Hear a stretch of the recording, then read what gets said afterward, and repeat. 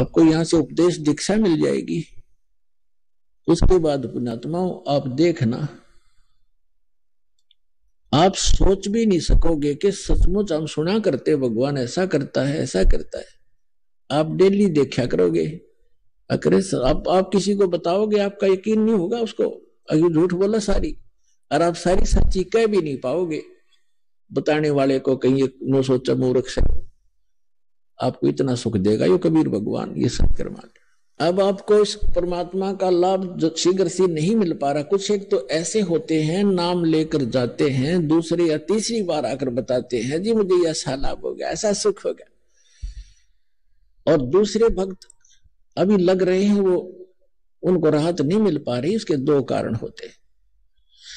एक तो कारण ये होता है, परमात्मा कहते हैं, धीरे धीरे रे मना धीरे सब कुछ होवे माली सींचे सो घड़ा, ऋतु आए फल होवे। धीरे धीरे रे मना, और धीरे सब कुछ हो माली सींचे सो घड़ा। और समय आने पर फल जैसे एक आम का पेड़ लगाया किसी, माली, जैसे पौधे लगाते थे बाग में, उसी से आपको समझाना चाहते हैं परमेश्वर कबीर जी कि हे मन, अब धीरे धीरे सारे काम होंगे। जैसे एक माली पौधा लगाता है छोटा सा पौधा होता आम का, उसमें सैकड़ों घड़े पानी के डालता है, यानी दस बरस, पाँच वर्ष, आजकल थोड़े जल्दी हो जाते हैं, चार पाँच वर्ष लगा लो तो पहले दस वर्ष लगभग, दस बारह वर्ष के बाद आम का फल, पेड़ बड़ा होता था और फिर फल से लदपद हो जाता था। इतना फल लगता था। आप भी खा लेते थे, अचार भी डाल लेते थे, पड़ोसी भी, साथ वाले भी, मोहल्ले वाले भी तोड़ ले जाते थे, रिश्तेदारों में कभी रखा करते, गठड़ी बाँध के तो भी समाप्त नहीं होते।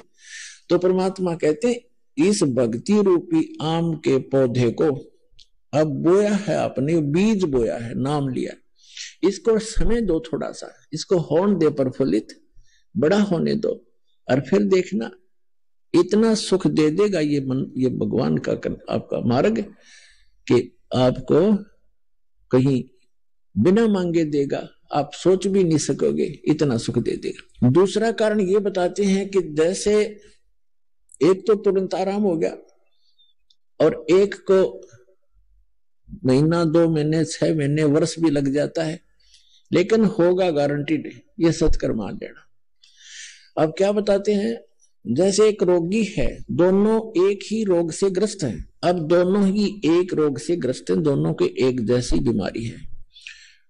अब डॉक्टर एक को कहता भी, तेरी तो स्टार्ट है भी और वो मनमाने दो खुराकों से आराम हो जाता है। और दूसरे कहता भी, लेट बहुत हो गया, तेरी बीमारी पुरानी होगी है, समय लगेगा। तो उसको महीने में, दो महीने में ठीक हो जाएगा। जब कारगर दवाई मिल गई है तो वो महीने, दो महीने में ठीक हो जाएँगे। तो दूसरा आपको उदाहरण दें कि जैसे एक तो कपड़ा थोड़ा मैं लाओ कुर्ता, पजामा तो वो एक ही बार के साबुन लगाने से स्वच्छ हो जाता है। एक ज़्यादा मैला हो गया हो तो उसको दो बार भी, तीन बार भी लाना पड़ जा, और जब जाके ड्राई क्लीन भी करनी पड़ जाती है, तब जाके स्वच्छ होगा। तो हमने युगों युगों से अपने अंतकरण को मैला मलिन कर रखा है। इसमें बहुत से संस्कार जमा हैं जो वहीं से अंकुरित होते और फिर भगवान की भक्ति मिली है, अब कोई साबुन और तेल मिला है सत्साधना का, अब शुरुआत करे रहो। किसी का तो एक ही बार में ठीक हो जाएगा, किसी का फिर कुछ समय के उपरांत होगा अवश्य।